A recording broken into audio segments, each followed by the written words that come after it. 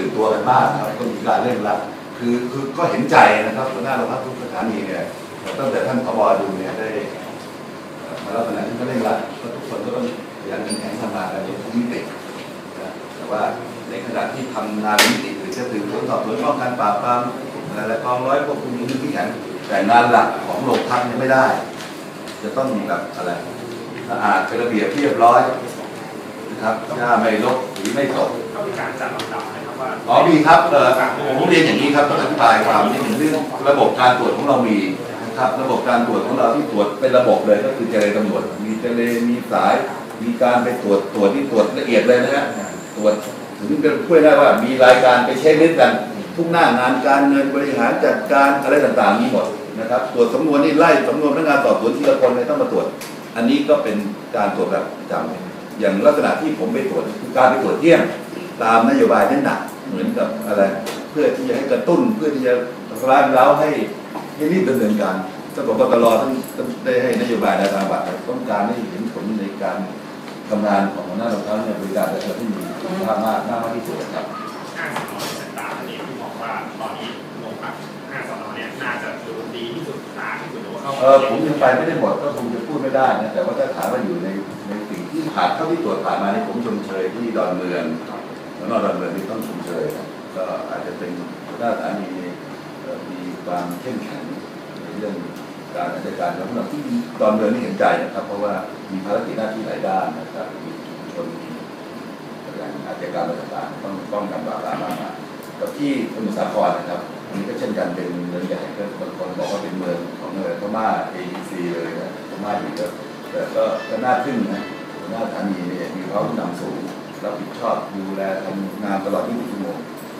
ที่อื่นตอนนี้ถ้าพูดถึงในภาพรวมอย่างที่เรียนนะก็อยู่ในขั้นดีนะครับที่มีปัญหาแล้วก็กลับเป็นประเด็นที่สื่อให้ความสนใจพูดถึงเนี่ยก็ก็เป็นเพียงโรงพักเดียวนะแล้วผมก็มั่นใจนะครับว่าในภาพรวมทั้งหมดเนี่ย90%ดีแน่นอนครับแต่ว่ายังไม่มีโอกาสไปตรวเพื่อจะเปรียบเทียบว่าใครดีที่สุดหรือไม่ซึ่งตรงนี้อยากจะตอบว่าหน่วยหน่วย คือในกองพิการหน่วยความมันเขาเลทเข้าไปแล้วนะฮะเขาก็มีของเขาว่าที่เขาไปตรวจเขาเนี่ยเป็นอะไรบ้างภูทรหนึ่งเขาก็มีเพราะว่าเขามีการประกวดมีสองประเภทฮะโรงพักเนี่ยโรงพักที่สมบูรณ์ครบถ้วนแล้วเนี่ยทำตามนโยบายให้ดียิ่งขึ้น แต่ไอ้โรงพักที่มีข้อจำกัดซึ่งสื่อคงจะติดตามท่านผบท่านให้ความสำคัญติดตามร้อยเก้าสิบหกโรงพักที่มัน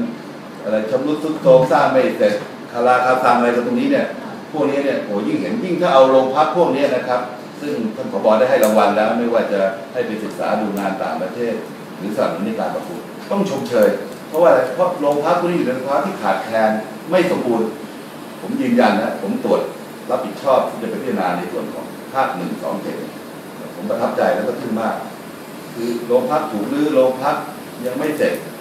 แต่กลับสามารถบริหารจัดการหาสถานที่วัสดุครุพันธ์มารับแจ้งความ บางที่นะทำโรงพักชั่วคราวนผมว่าดีกว่าโรงพักที่มีอยู่ครบถ้วนสมบูรณ์ถาวรด้วยซ้ำไปครับเสร็จนะครับหมดแล้วครับขอบคุณครับยินดีครับ เป็นโรงพักที่แปลกกว่าที่อื่นเพราะมีประวัติศาสตร์ความเป็นมาพื้นฐานโกเป็นโรงพักที่มีห้องควบคุมที่ใหญ่ที่สุดนะในนั้นเนี่ยผมถ้าพูดเป็นภาษาเอาไปทำสนามตีอะไรก็พอได้เลยเพราะว่าเดิมเนี่ยนางเลิศเนี่ยเป็นจุดกลางเมืองและเป็นสถานที่ที่ การชุมนุมเลยคือใช้เป็นห้องควบคุมผู้ต้องหาห้องขังก็เลยใหญ่ แต่ตอนหลังเนี่ยท่านคงทราบถ้ามีคดีเกี่ยวกับเรื่องการชุมนุมเนี่ยเราก็มีความจำเป็นที่จะต้องเอาผู้ต้องหาเนี่ยไปควบคุมในบริเวณกองกำกับการบริเวณชายแดนภาคหนึ่งเพื่อความสะดวกเพื่อบริการผู้ต้องขังให้ได้มีคุณภาพยิ่งขึ้น ทีนี้ปรากฏว่าห้องใหญ่เนี่ยแต่ที่ที่บริการบริการประชาชนรับแจ้งความห้องทำงานเนี่ยก็ก็มีเนื้อที่จำกัด ผมก็เลยบอกว่าอย่างเนี้ยมันต้องปรับปรุง แล้วก็เอาพื้นที่ที่เป็นห้องห้องขังห้องใหญ่เนี่ย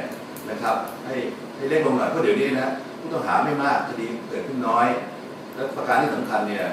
ระยะเวลาในการควบคุมผู้ต้องหาเนี่ยน้อยลงไม่ได้ขังกันเจ็ดวันสิบวันอะไรแล้วเนี่ยเพราะฉะนั้นเนี่ยเดี๋ยวจะก็ไปฝากขังเพราะฉะนั้นมันมีแค่ชั่วคราวเคยทำอะไรเป็นอย่างนั้น แต่ว่าในมิตินี้ก็ผมคิดว่าหัวหน้าเนี่ยจะต้องมีสมรรถนะในการบริหารจัดการเอ๊ะห้องทำงานไม่พอ เอาห้องขังเนี่ยมาทำห้องทำงานอะไรต่างๆนี้เป็นต้น ส่วนที่ปทุมวันเนี่ยต้องเรียนว่าโครงสร้างพื้นฐานเนี่ยโรงพักที่สวยงามมากของแจ้งความเข้าไปเนี่ยเพียงแต่ว่าที่ได้เข้าสังเกตก็ห้องน้ำเนี่ยห้องต่างๆคือมันมันต้องเหมาะกันนะตัวด้านหน้าของโรงพักเอ่อปทุมวันนี่ถือว่าเป็นตัวอย่าง เหมือนกับห้องน้ำที่ห้องห้องทำงานทุกห้องทุกอย่างสถานที่ดีมาก แต่ห้องน้ำเนี่ยมันยังแทบมันยังไม่ไม่เชื่อมโยงกันได้เท่าที่ควรก็อยากให้ทานครั บ